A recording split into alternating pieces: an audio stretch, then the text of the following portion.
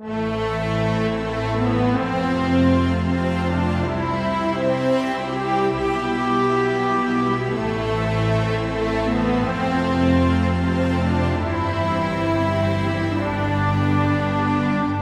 don't view myself as a hero. I was just doing my job, protecting a citizen.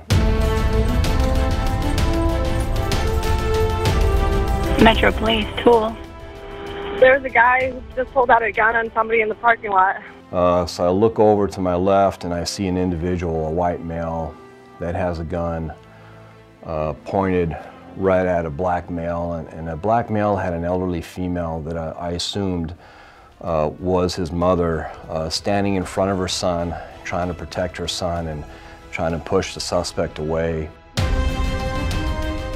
From what I saw, you know, my perception was that if I didn't get involved, uh, this individual and the mom, they were going to get shot. And I think really what, what made it so worth it for me is at the end, when it was all done, I had the, uh, the black male, the son and the mother approach me and hug me and say, thank you for saving our lives today.